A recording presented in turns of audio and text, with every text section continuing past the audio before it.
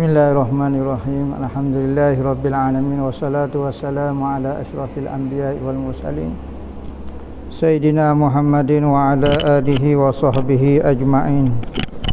Qala rabbi shrah li sadri wa yassir li amri wa hlul 'uqdatam min lisani yafqahu qawli.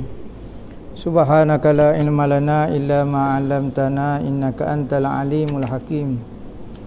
ولا حول ولا قوة إلا بالله العلي العظيم نويت تعلم والتعليم وتذكر والتذكير والنفع والانتفاع والإفادة والاستفادة والحث على التمسك بكتاب الله وسنة رسوله والدعاء إلى الهدى والدلالة على الخير ابتغاء وجه الله وقربه وثوابه سبحانه وتعالى اللهم إني أسألك علما لدني ومشربا صافيا يا وهاب يا غني قال المؤلف رحمه الله تعالى ونفعنا به وبعلومه في الدارين آمين ربي يسير ولا تعسر وتمم بالخير ولا حول ولا قوة إلا بالله العلي العظيم Amma ba'du Assalamualaikum warahmatullahi wabarakatuh.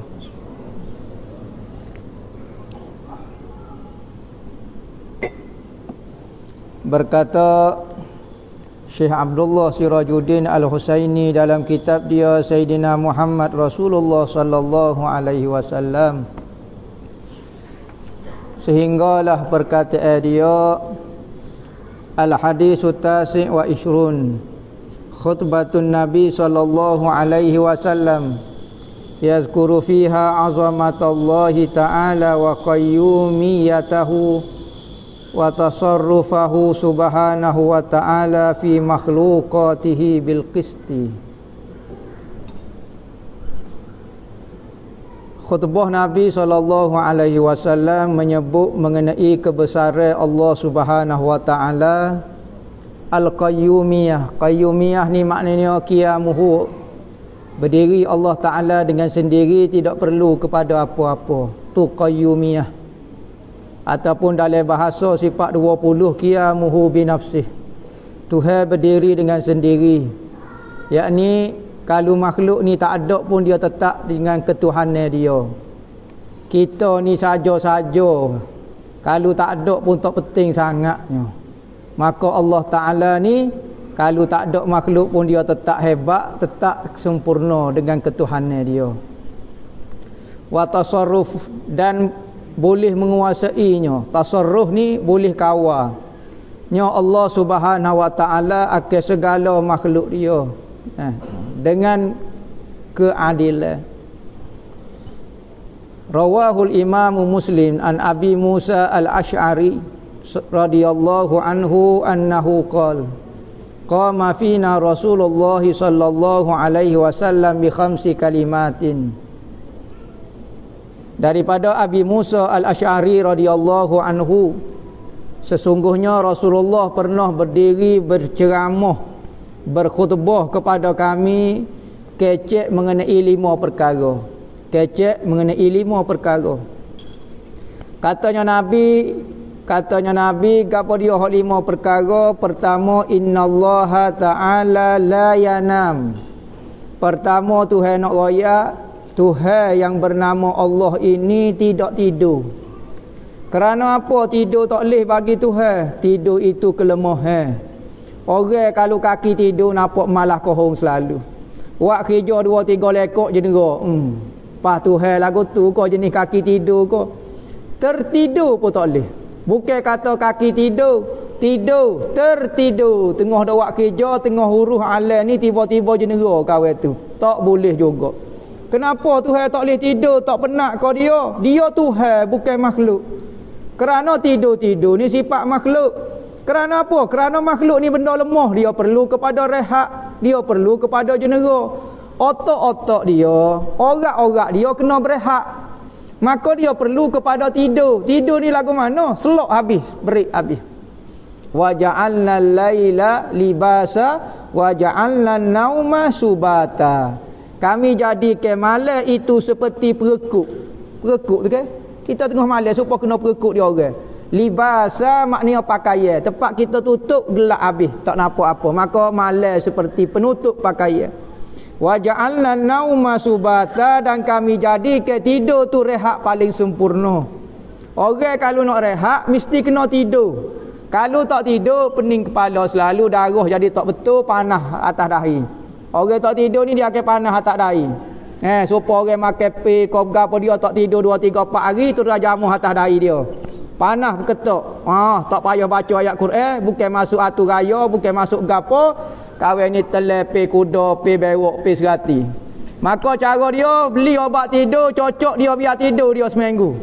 Barulah sejuk otak dia wagi jalan tepi patah makan colek kepuk makan goreng pisang baru tanya dia ada masalah gapo yang telepe lagu ni. Ha ni. Lo ni kalau mata bersina duduk ngamuk nak tikai orang tua nak tikai mu ayah tu bukan hatu raya tu tu pe panggil. Orang makan pe kita jangan duk gaduh baca wa habis hailiu kita. Ni duk baca habis tu gak. Ha, kawan tu duk makan pe, kacik pe, kacik kasar, kacik halus, kacik gapo. Hmm, tak ada apa. Eh, ha.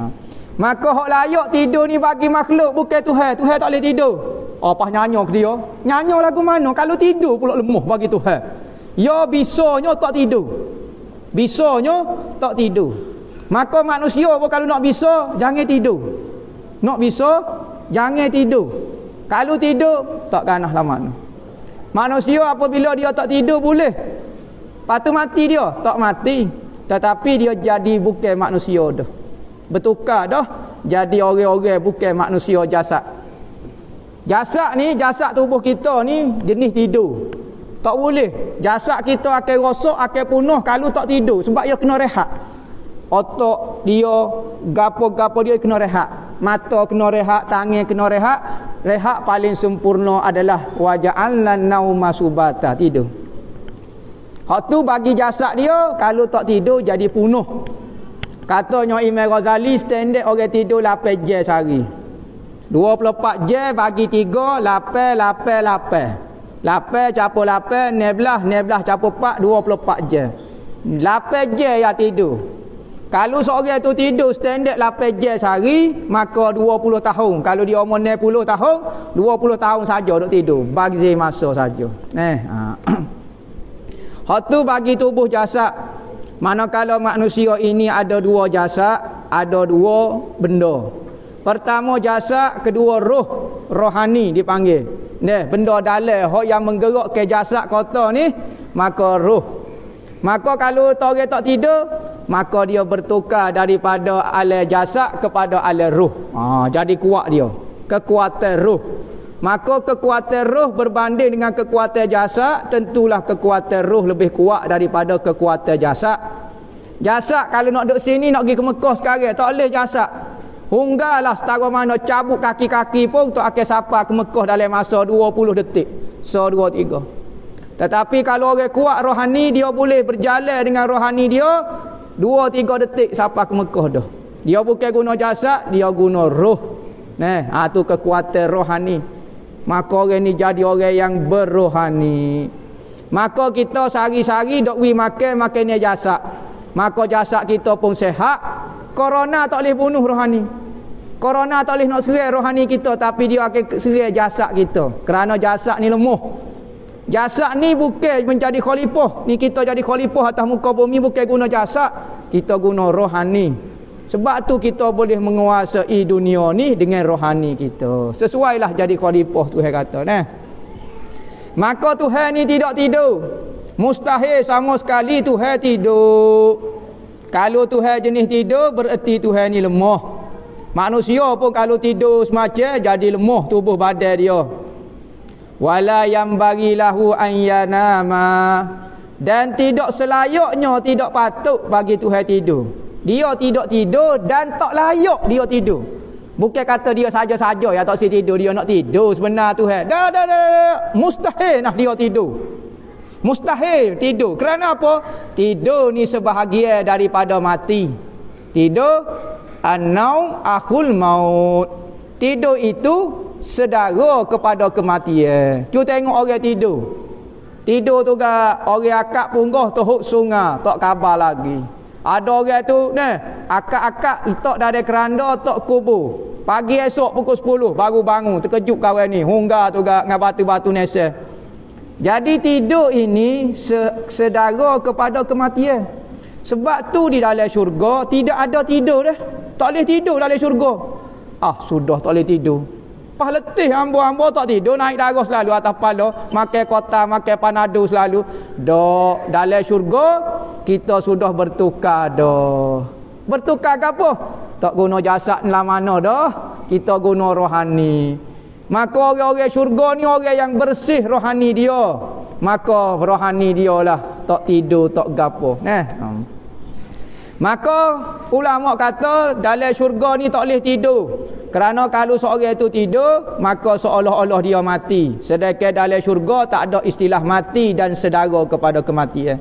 Setiap hari duduk bernikmati, setiap hari duduk bergalak, duduk suka, tiap-tiap berhenti. Tak berhenti, tak Lepas tu tak ada rehat. Ya duk nyenggeng-nyenggeng gitu ada. Jenera tak ada. Tak ada istilah tidur.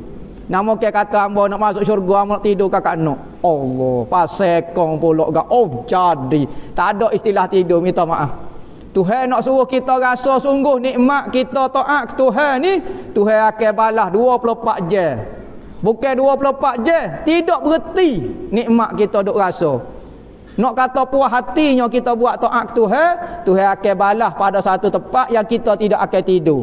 Kita akan rasa nikmat semacam. Makan macam-macam tak reti nak sebutlah dalam syurga ni macam-macam nikmat eh. Hmm. Satu nikmat zahir, nikmat makhluk, nikmat makrifat pula boleh tengok Tuhan pula. Ada orang boleh tengok tiap detik setiap masa tengok Allah Taala. Ada orang boleh tengok seminggu sekali, ada orang tengok sebulan sekali maka tak ada lah yang paling indah melainkan Allah Taala innallaha jamilun yuhibbul jamal Allah Taala ni indah dan dia suka kepada benda-benda yang indah kita tengok gapo dia paling comel di atas di mata kita. Dalam syurga ke gapo? Tak boleh lawan keindahan Allah Taala. Lagu mana indah dia? Bercahaya ke? Berbentuk ke? Dak dak dak tak ada tak ada gapo dia. Tetapi manusia hanya boleh berkata Masya Allah indahnya. Eh, apabila syurga apabila Allah Ta'ala buka hijab daripada kita orang-orang dalam syurga boleh melihat Allah Ta'ala dia panggil semua orang dalam syurga maka Allah Ta'ala tanya kepada ahli syurga wahai ahli syurga cukup kodok mu rasa puas hati kodok apa yang aku balas atas usaha kamu atas muka dunia Aku suruh musmaya musguh kata. Ambo tak tahu nak kata lagu mana. Ambo buat ibadat sikit ya mubalah nikmat sampai bila-bila. Allah sedaknya lah. Nah. Maka katanya Allah Ta'ala hari ni ambo nak wi hadiah. Hadiah gapo ya Allah ya Tuhan ku. Hak ni pun tak ada nak jajak lagi. Syurga ambo baru suku baru ambo duduk tengah jalan lah ni. Banyak lagi ambo tak jumpa cari hak dalam syurga ambo macam-macam nikmat. Nak wi hadiah gapo dia lagi ya Allah ya Tuhanku. Ah, hari ni aku nak wi satu nikmat, gapo dia? Hari ni mu pokmu semua ni boleh tengok aku. Ha? Boleh tengok mu ya Allah ya Tuhanku. Allah Rabbi. Maka dalam kitab sebut maka Allah Taala pun tajallilah zahirlah kepada ahli-ahli syurga. Maka dibuka hijab daripada ahli-ahli syurga maka ahli syurga melihat Allah Ta'ala kerana terlalu hebat dan terlalu indahnya Allah Ta'ala maka ramah-ramah ahli syurga nak sujud ke Tuhan. Allah tak reti nak kata lagu mana maka pakak nak sujud ke Tuhan. Apabila nak sujud ke Tuhan Tuhan kata tak payah sujud dah lah ni. Aku minta mu suruh sujud pada waktu subuh dua kali dua rakaat zuhur sikit asar sikit, maghrib sikit, isya sikit. Oh, lah ni tak payah buat taat dah kat aku. Tak payah semaya, tak payah puasa, tak payah tutup aurat dah dalam syurga dah. Mungko dalam syurga tempat nikmat. Tak ada dah orang tak ada gapo dia dah. Betul-betul dalam nikmat tak payah buat ibadat dah. Maka katanya Allah Taala kata, hari ni aku nak beritahu kepada kamu wahai ahli syurga, ni selepas orang ahli syurga masuk belaka dah. Allah sekali pun masuk belakang tu. Maka katanya Allah Ta'ala wahai penduduk syurga.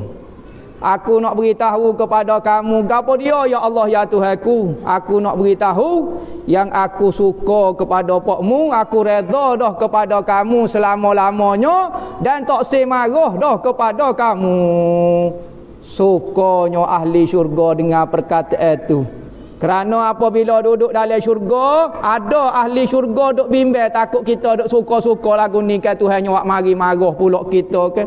Tiba-tiba Allah Ta'ala kata Wahai ahli syurga Aku reda dah kepada kamu Dan aku tak akan ma'a'a Tak akan marah dah kepada kamu Selama-lamanya. Pada masa itulah begitu gembiranya ahli syurga Tak erti nak kata berapa. Nah, ah, tak ada habis cerita dalam kita Maka sukalah ahli syurga selama-lamanya. Duduklah dia di dalam syurga Berjuta-juta tahun Berbilion tahun Tak tahu siapa bila. Nah, ah. Tetapi nak boleh syurga tu Inilah tempat kita. Ni bercucuk tanah lah di atas muka dunia. Harap-harap Allah Ta'ala suka Allah Ta'ala kesia kepada kita Maka Allah Ta'ala wi syurga. Buatlah ta'ak sebanyak-banyaknya Bukan ta'ak yang menyebabkan kita masuk syurga Tetapi asbab dia saja Ta'ak itu memasukkan kita ke dalam syurga kerana apa? Taat tu boleh menyababkan masuk syurga. Kerana dalam hadis Nabi kata, aku sembunyi ke tiga perkara di dalam tiga perkara.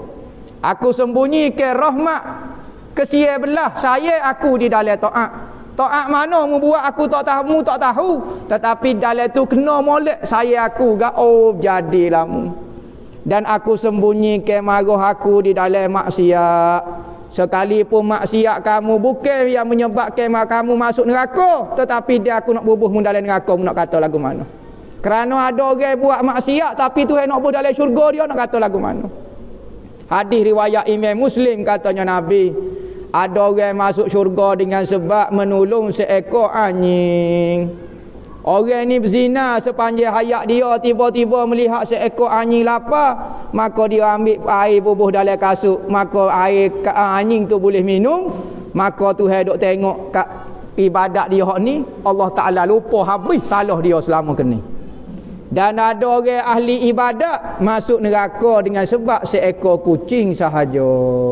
Dia pergi kucing tak wi makan mapuh kucing tu ibadat dia hak lama kini tu hai tak tengok tu hai dok tengok salah dia hak tu.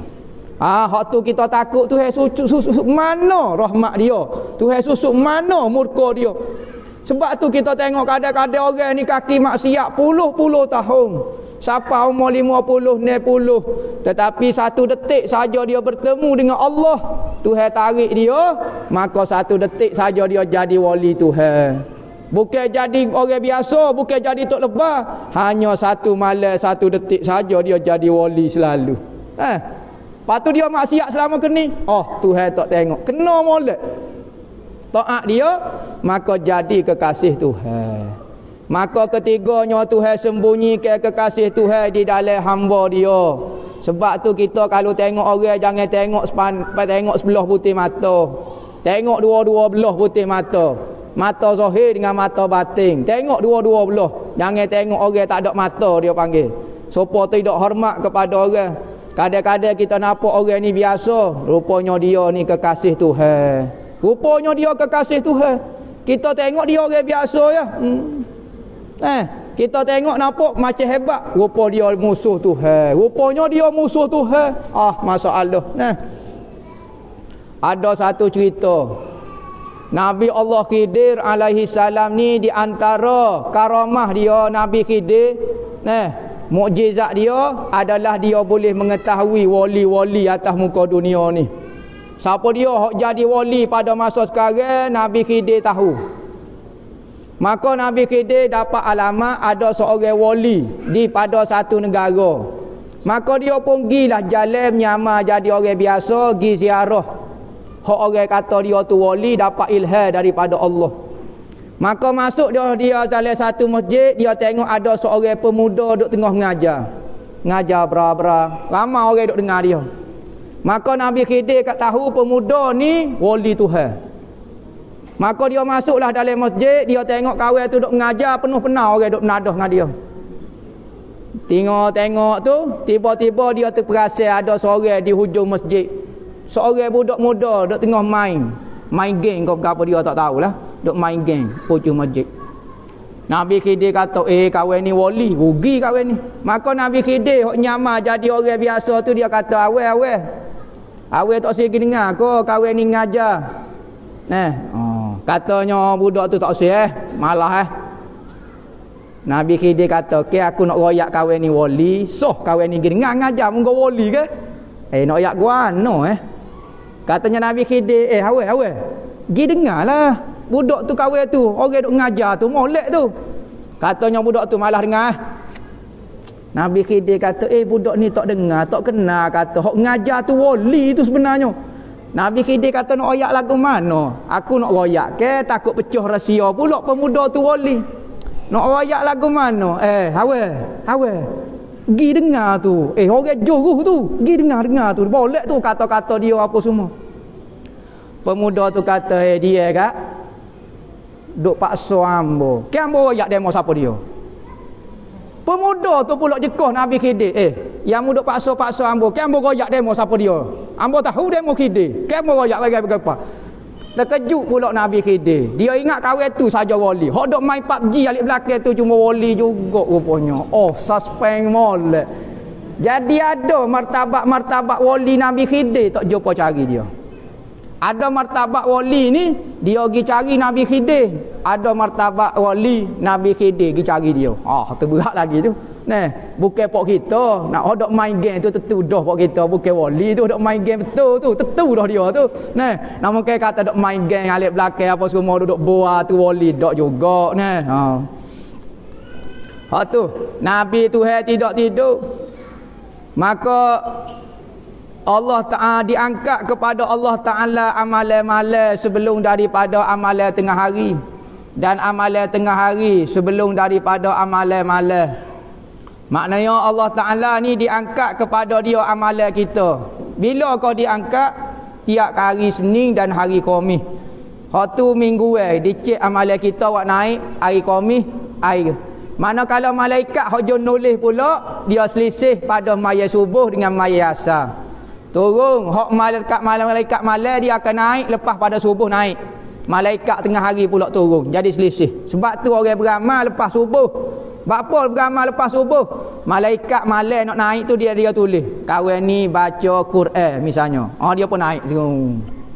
Hak subuh pula turun. Hak tengah hari pula turun. Berung tengok. Oh dak baca Quran. Dia ni baca Quran. Dua kali tulis dia. Lepas asal orang buat lagu tu juga beramal. Kerana kena dua tulis dia. Tulis dia malaikat pagi, malaikat tengah hari dengan malaikat malam. Eh. Ha. Hak tu diangkat amalan kita. Hari Senin dengan hari Khamis. Kalau tahun ni agak ditukar buku tahun ni iaitu pada malam nisfu Sya'ban. Malam nisfu Sya'ban kita ditukar buku baru. Ha, buku baru tu lah kita baca Yasin tiga kali. Minta-minta lah buku baru kita ni banyak amalan kita. Nah, panjang umur dalam taat, luah rezeki yang manfaat. Nah, patuh mati dalam iman. Eh, mati dalam hotel, mati tepi Kaabah, mati dalam Kaabah belum tentu lagi. Belum tentu lagi. Eh, oh, nak matinya mati dalam. Nama. Ah.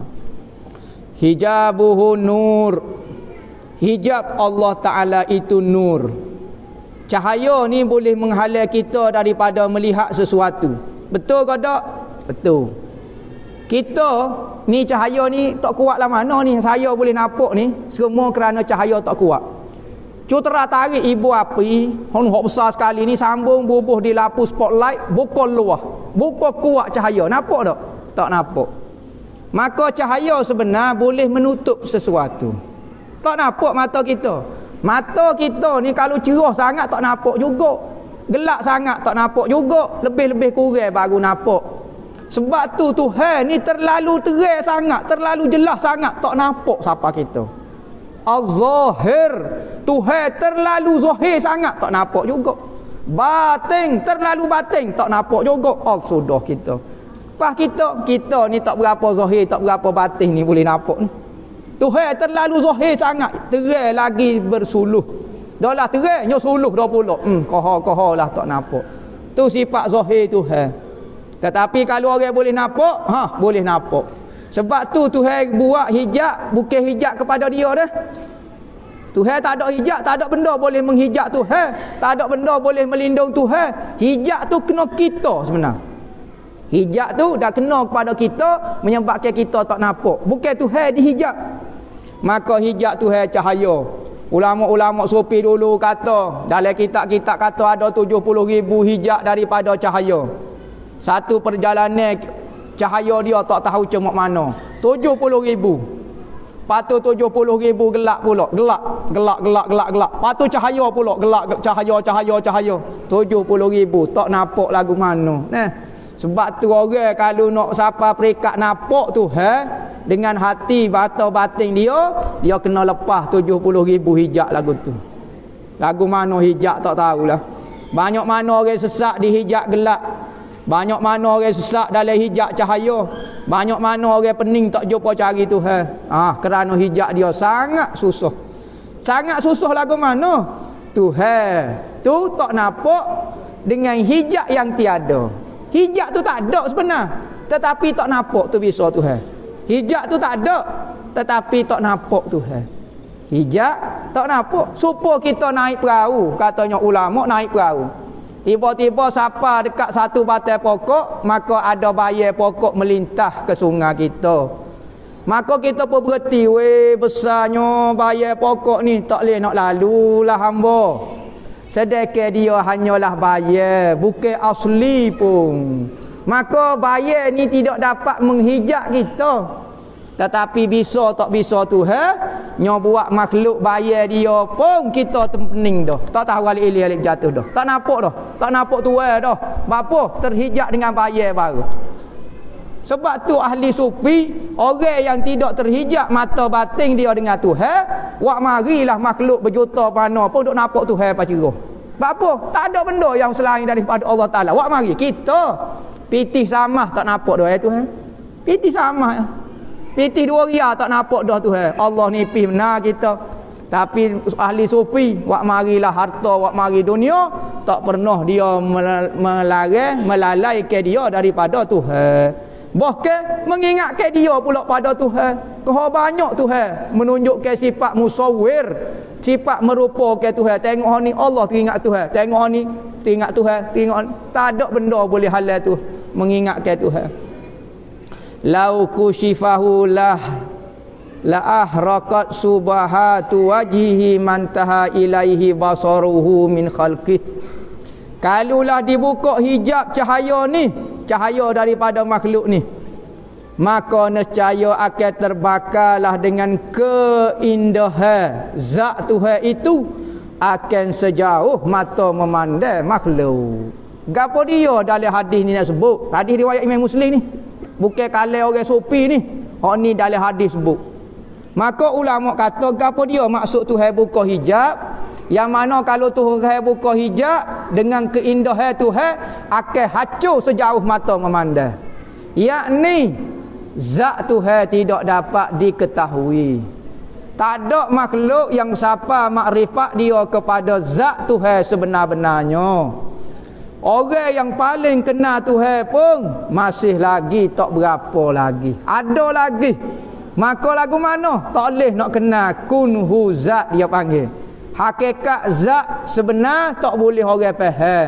Sebagaimana orang-orang sufi menggambarkan martabat yang paling tinggi, paling rapat dengan Tuhan, gambar dia seperti sehelai kertas kosong. Sehelai kertas kosong tak ada gapo. Nampak kosong tak titik tak gapo. Oh, hatu martabak paling rapat sekali. Tak tahu gapo satu. Gelak tak nampak gapo-gapo, cerah tak nampak gapo-gapo. Hatu. Tak ada orang boleh sapa martabak tu. Nah. Hadis yang ke-30 khutbah Nabi wallahu a'lam.